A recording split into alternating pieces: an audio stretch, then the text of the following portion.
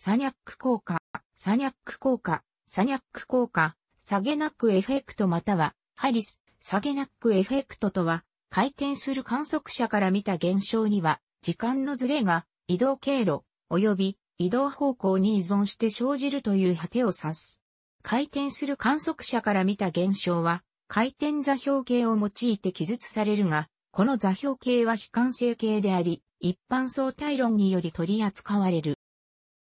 競技では、角速度を検出するリングレーザージャイロスコープや光ファイバージャイロスコープ等において光電波速度が電波方向に依存する効果、現象を指す。この効果は回転座標系から特殊相対論で扱うことのできる完成形に変換して考えれば説明が容易である。したがって一般相対論をあえて知る必要はないとも言える。サニャック効果は回転座標系の下で移動経路及び移動方向に依存する形で生じる時間のズレを指すが、この時間のズレとは相対論的な固有時のズレ、時間の遅れを指す。非関性経過の事象を記述する一般相対論に従えば、移動経路に依存する形で生じる時間のズレは、当然の事象とされる対域的同時性の不成立。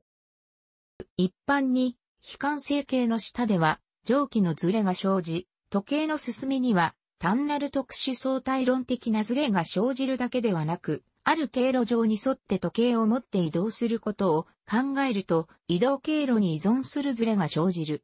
実際に、非関性形の下では異なる二つの経路、例えば ABC と ABC、B と B とは異なる時空点であると仮定。を移動させた後のそれぞれの時計を比較することによって、両者のズレの差を観測できる。光などの信号が経路を電波する場合は、電波時間が電波経路超電波速度移動経路に依存する電波時のズレ、もしくは電波速度自体のズレとして観測される。自由電波経路も直線とはならない。これらは光電波の重力レンズ効果とも基本的に話は同様である。特に回転座標系に特有な時間のズレとこれに起因する効果をサニャック効果と呼び、移動方向に対して時間のズレは非等方性を示す。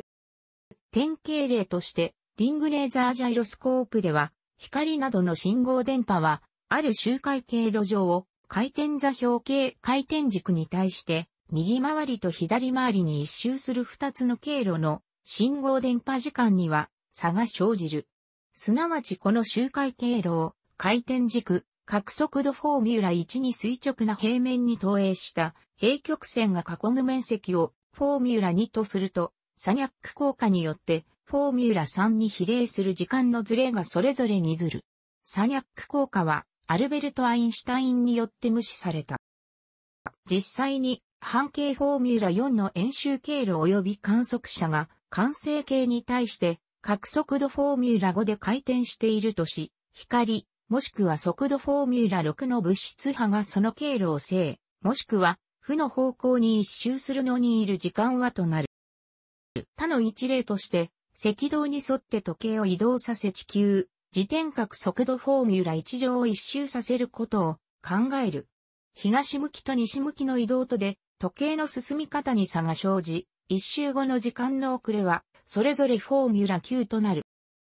また、赤道一周に沿って、極めて多数個の時計をほとんど無限小間隔で並べ、一周の視点から終点へ向けて順に隣接する時計の体をすべて同期させていったとする。なおこの同期は回転座標経過を考慮した補正等を加えないと仮定する。そして視点上と終点上の時計を比較すると蒸気と同じズレフォーミュラ10が生じている。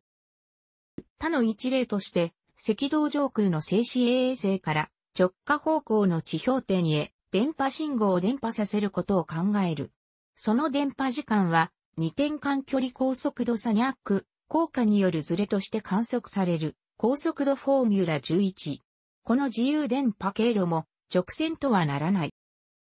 実際に GNSS、GPS 衛星から地上への信号電波時間に対して回転座標系、非回転座標系の相違を無視した場合はそのサニャック効果による誤差は100ナノセカンド、換算すると30メートルに達する。また、複数の人工衛星地上間信号電波路をつなぎ合わせた一つの平曲線を考える。この信号電波時間の相和には時間のズレとして、東向きと西向きの一周にそれぞれフォーミュラ9の項が生じる。角速度フォーミュラ1で回転する系のの線素、固有時は、フォーミュラ14は、円筒座標で下記のように表される。ここで時計を、フォーミュラ16とフォーミュラ17は一定で、フォーミュラ18に従い移動させると、線素は下記のように表される。この時計の進み方は下記に比例する。回転の角速度と位相差の関係を観察するための最初のリング、干渉系の実験は、ハレス、フラス・ハリスまたは、フランツ・ハリスによって1911年に行われた。彼はその効果をエーテルによるものと説明したが、この説明は間違っていた。その後フランス人のは1913年の彼自身による同じ実験に対して正しい説明を与えたため、彼にちなんでサニャック効果と名付けられた。これらの経緯のために、サニャック効果は、ハリス・サゲナック効果と、ハリスの名前を冠して呼ばれることがある。リングレーザージャイロスコープや、光ファイバジャイロスコープ、光ジャイロを理解するために、回転する円形航路を考える。入射した光が出口に達するまでに、出口の位置が変わり、航路の長さがあたかも変化したことになる。そのため低速度の光が出口から出てくる時間は航路の回転速度に依存する。したがって装置が回転することによって同一の周回上航路を逆方向に走った二つの光の到達時間に差が生じる。この差を測れば装置の回転速度がわかる。実際の測定では双方の光の位相差を検出し、回転速度を測定している。楽しくご覧になりましたら、購読と良いです。クリックしてください。